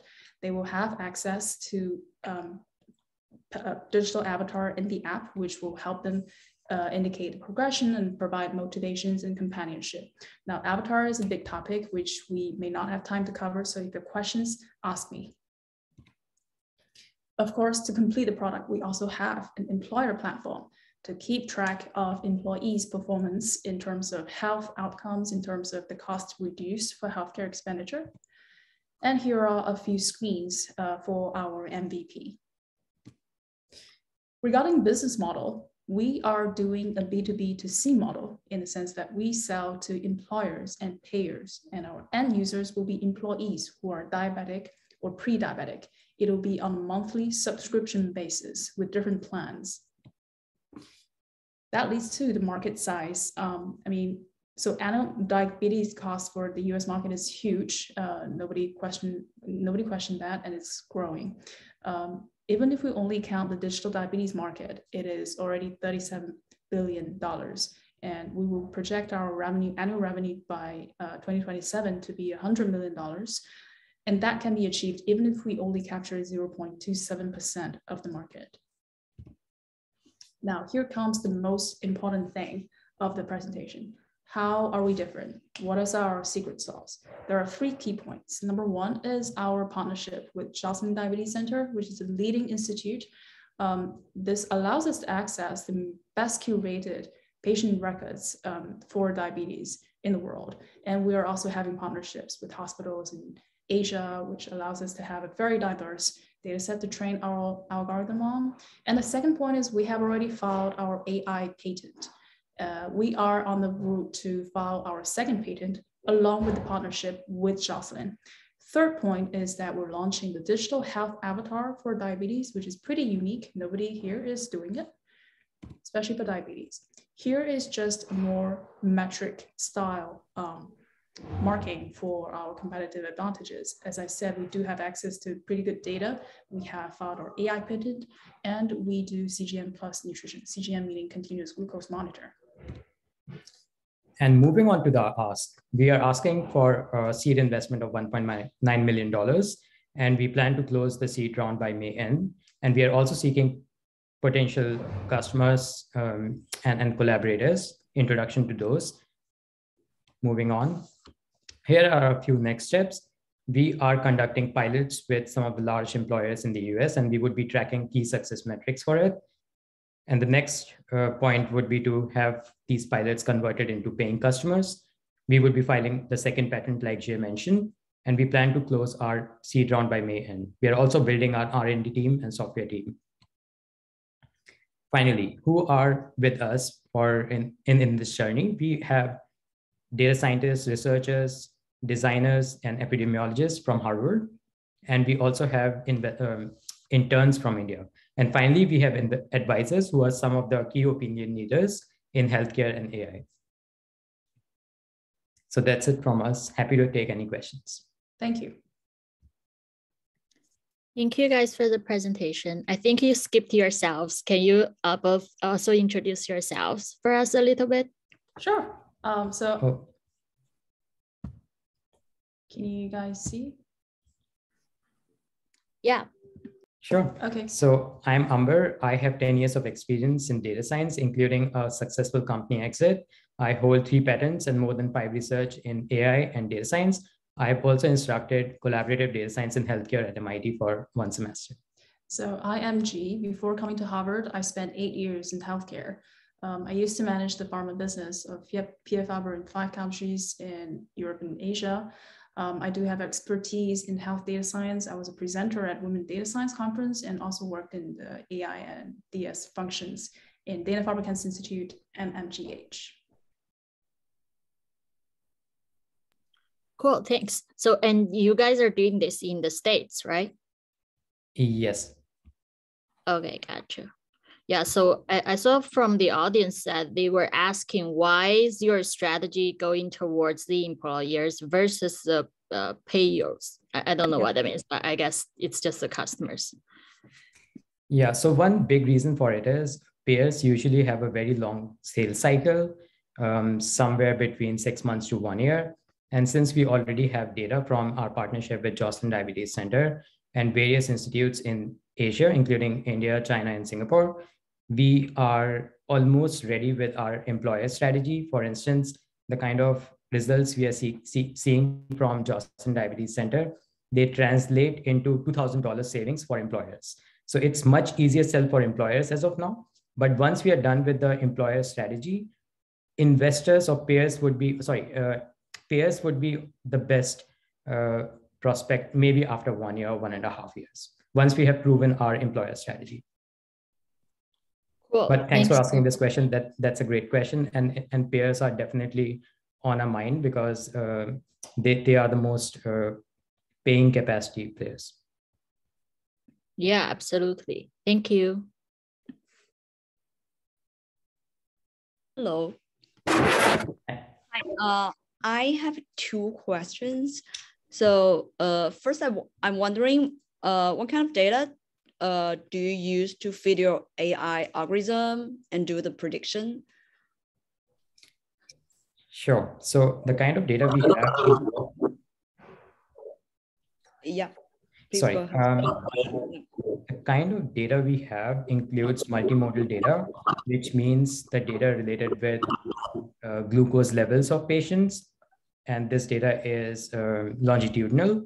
Then we have information about the electronic medical records for patients, including diabetic ne nephropathy, neuropathy, retinopathy. So anything related to diabetes, even if it is something which is evolving out of diabetes, for instance, um, CVDs, uh, cardiovascular diseases, or even kidney diseases, which is nephropathy. We have all those sort of data in our electronic medical records. I see. Uh, and I, I'm also wondering, are you the uh, are you the first platform that collaborating with Joslin? Um, I think among the competitors that we list on our slides, which are mm-hmm. pretty pretty good, uh, pretty big bills, we I believe in our record it is uh, we are the first to uh, collaborate uh, with Joslin. Yeah, in fact, we are the first ones to get revenue out of Joslin. Usually, people have to pay to conduct certain clinical trials. Um, for us, it's the opposite. They are paying us to develop these algorithms, which are because primarily because of two reasons. One of our advisors has been connected with Joslin Diabetes Center and they, they make the introduction. Second, our combined experience, Jay and I have more than 17 years of experience in machine learning and data science. And we had already filed a patent when we started our discussions with them. So probably they realized whatever we were doing is directly relevant with relevant for them. I see. Gotcha. Thank you. You're welcome.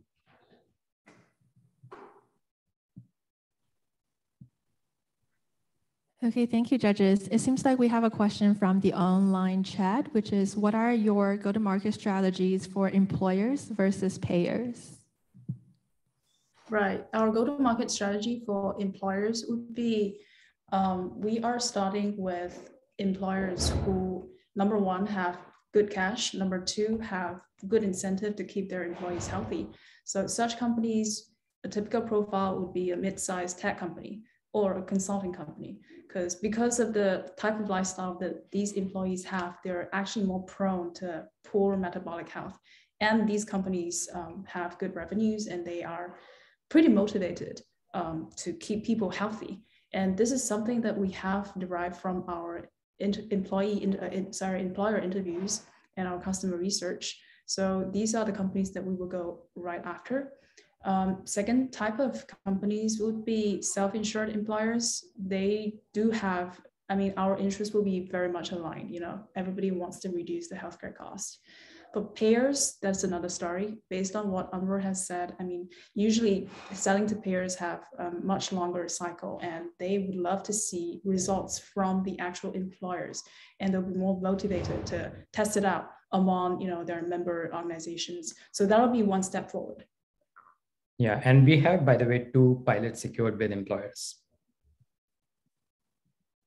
Okay, thank you very much. I think that's time. Um, all right, and that concludes all of the pitches and Q and A's. Um, so what's gonna happen now is, um, so we're gonna let the judges exit the webinar to um, deliberate, discuss um, the teams that have presented. And uh, in the meantime, for those that are still in person, we're gonna hand out the gifts that we promised. Uh, so those that would take five minutes. Uh, dear judges, you can now follow the instructions on your uh, Zoom chat to the other meeting link.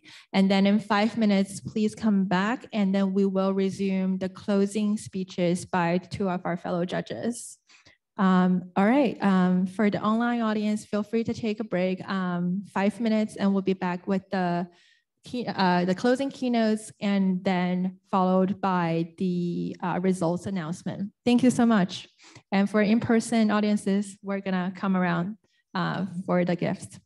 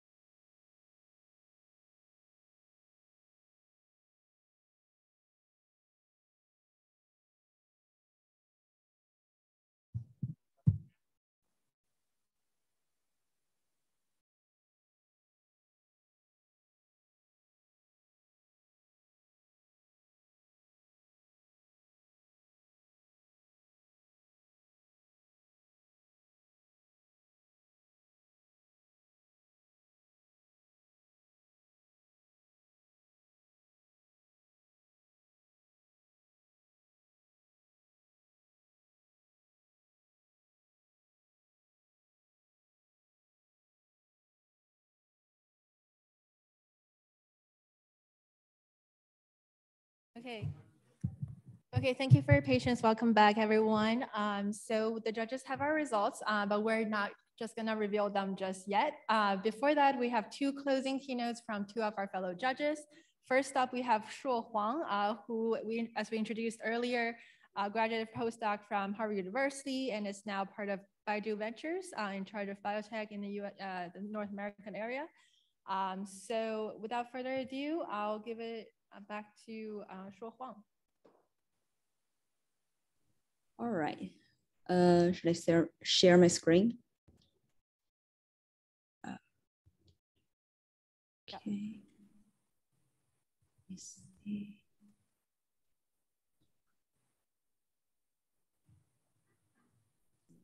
Sorry. Wait a second. Just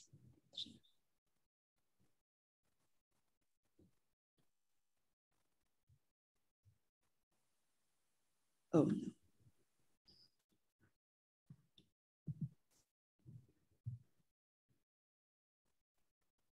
no. Wait a second. No worries. Mm -hmm. I just realized I've blocked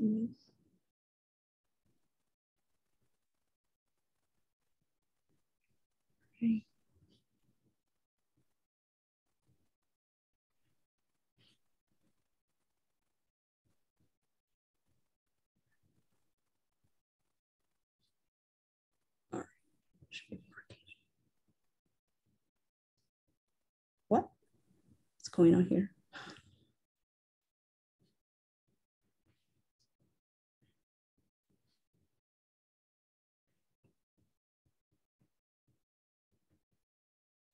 Hmm.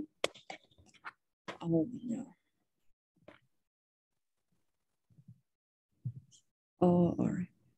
Ah, sorry, I probably have to leave the. Okay, yeah, go ahead. Um, we can start with Tina, if that's okay, and you can work on the um, screen share in the meantime. Sure, I, I think she just uh, locked out. I think because she need probably needs to uh, uh, share her file. So should I start? Yeah, yeah, Tina, please go. Thank you. Okay, sure. Yeah. Well, actually, I don't have a deck, but thank you guys very much for your time. And I know it's really late in Boston, and I will keep my uh, conversation really short. So I've seen so many uh, familiar faces, both in the presenters and the audiences. And thanks for the committee members and your many late nighters that made uh, this pitch competition possible. Also, I hope all the audiences had a wonderful time and learned something new and exciting in this pitch competition. And I hope this event encourages all of you to learn something more beyond what you learned today. Thanks for all the awesome presentations and I, you will know the results just shortly. I truly hope that you go beyond this competition and decide to take a lifelong journey in entrepreneurship.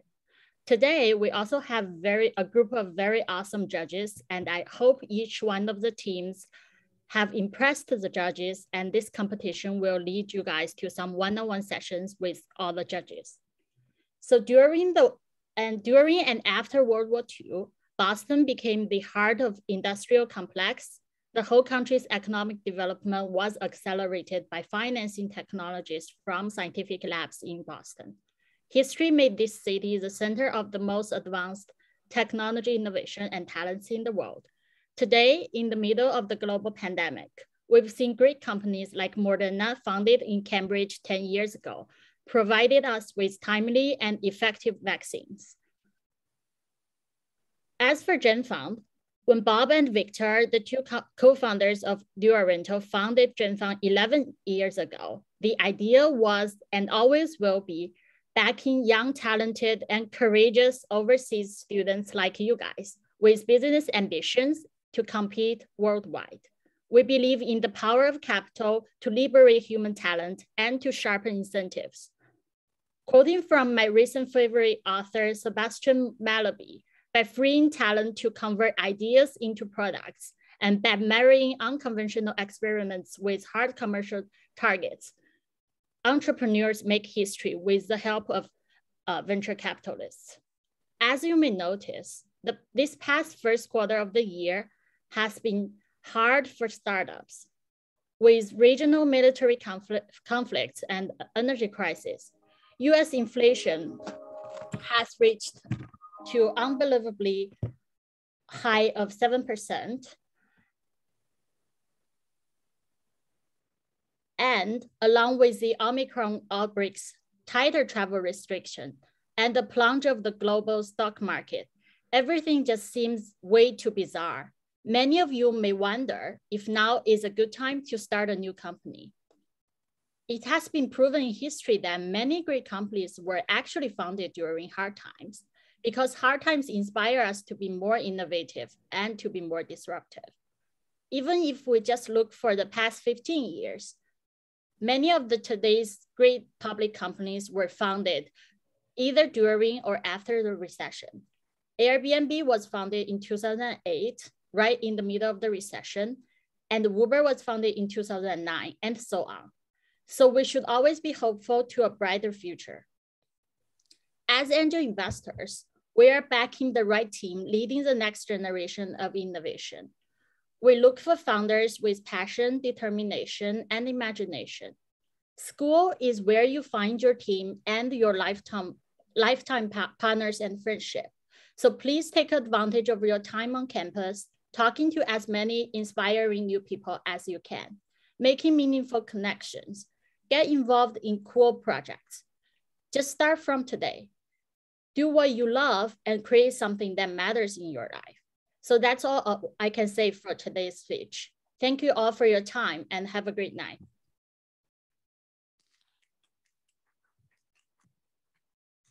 Thank you very much, Tina. Shuo, are you back with us? I think so. So yeah, I was restricted to share screen and I don't know why. Let me try it again. Sorry about that.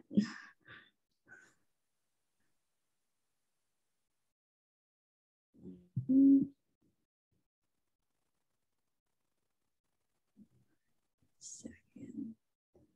All right, so yeah. Yongcheng help me out. so, all right. Uh, so it's, it's not me sharing screen because uh, I still have some problem with that. So, so, so my colleague just helped me. So hello everyone. Uh, my name is Shuo. Uh, I'm from Baidu Venture. So today is great to see you guys having a chance to socialize in person. I I actually I work in the Longwood area for almost four years, and it has been almost a year since I left Boston. Uh, I feel like I have missed the city, especially when summer comes. Uh, so today uh, I'd like to thank the HMS uh, committee for the invitation and the introduction. And it's a great honor and pleasure to be here and to represent Baidu Venture. Um, and first, I wanted to congratulate all the finalists and thank you all for making such fantastic pitches. Uh, I'm so inspired to uh, inspired by all of you as entrepreneurs with deep knowledge of uh, future techs. I, so as I mentioned, I was also an ex-Harvard researcher before diving into venture capital. So today I, uh, as an investor coming from lab, I would like to share with you some perspectives about running a startup as a technical expert and how Baidu Venture will support your growth. So yeah, so, so this is first slide that I wanted to emphasize today is the emerging technology as highlighted in this uh, tech cloud. So many years ago, we might consider that those technologies were far from our daily lives. But when people see this, the pictures showed on the right side that uh, all these tech unicorns showed in this picture, they may realize that, oh, the future has arrived all of a sudden. But as entrepreneurs and investors, we all know success is not coming from nowhere. So a solid technology doesn't imply a terrific product. A terrific product doesn't uh, signify a excellent business model. or an excellent business model doesn't represent positive cash flow. So translating technologies into business is hard. And that's why we're here to help. So next slide. So we all know this, uh, the venture capital funnel that only tiny portion of seeded startups were able to exist through IPOs or uh, M&A. Nobody is born to do business. As tech people, most of the time you start your business um, based on your maybe common sense or the keywords you learn from business workshops or other people's uh, experience. If you're lucky, you may find a partner with extensive business experience or a like serial entrepreneurs, but still you need support. Like, uh, like you need financial aid, of course, or you need advice to make uh, progress or expand your business or when you're in, when you encounter difficulties, you, you need someone to stand by your side and encourage you. And all of this will help you achieve your goals. And who will be your best supporter?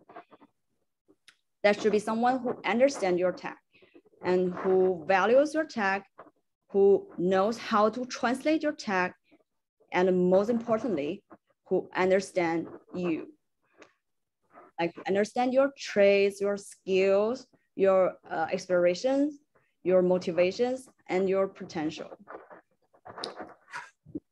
Next slide. Yeah, so here I wanted to introduce our value to you. So Baidu Venture is a independent VC initiated by Baidu. So I, I assume most of you know Baidu, right? so the internet and AI giant in China. So apparently we inherit Baidu's gene and uh, are fascinated about uh, cutting edge technologies. We believe many underlying technologies have great potential to achieve in the business market and will eventually change people's daily lives. Like the background picture showing here is from our website, yeah. And this changes will catalyze the birth of more tags and form a feedback loop. So what we are doing now are giving them money, of course, and help them thriving and waiting them to grow and letting them change the world. So next slide. Yeah, all right. It's our picture. And uh, so today, so now it's 2022. Yeah, in 2022, the tech industry is expected to boom more than ever, opening many doors to new people. Um, new to new people that wanted to become like tech entrepreneurs. The possibilities are endless, ranging from building an industry shaping product to like building your own SaaS platform and everything in between. When you have a dream to make this world, world a better place, please let us know. We're not just an investor and we're also your loyal partner. All right, so next slide.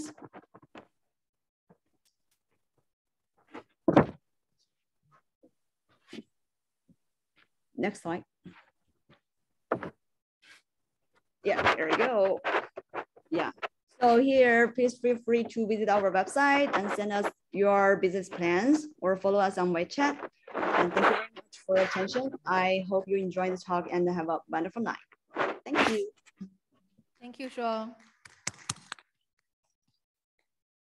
All right, thank you again to all of our fellow judges and speakers. Um, it is with uh, only with their great energy and efforts and thoughts put into all the pitches that we're able to, um, you know, overgo a very successful pitch night, demo day. Um, and now comes the exciting part um, of the results announcement. Uh, let me share my screen once again to um, acknowledge our wonderful judges. Um, and like Shuo mentioned and Tina mentioned, please reach out and you know work together to make the world a better place.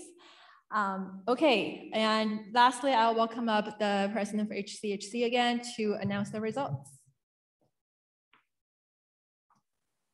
Hi, thank you. So um, let's give us a last round of uh, applause for the exciting and um, inspiring presentation and conversation tonight. and I'm honored to uh, to represent um, Harvard Chi Chinese Student Health Club and MIT Chief to announce the um, awards of the competition tonight. And we have three winners for the first uh, for the first prize, um, and they are mm, Up Bio and um, XStory and um, TriStar AI.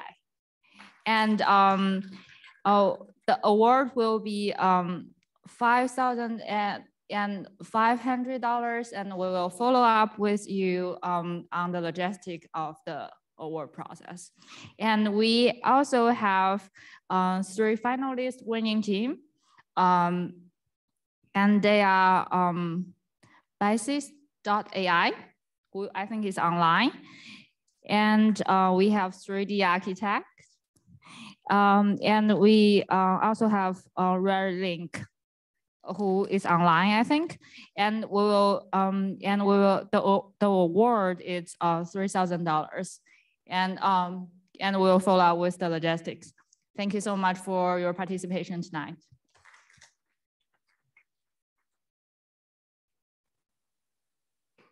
Okay, thank you again for staying us staying with us for so late, uh, especially for those folks on the East Coast. Uh, thank you for those online. Uh, so yeah, that's a wrap for our inaugural uh, 2022 HMS Future Tech startup competition and we hope to see you again next year.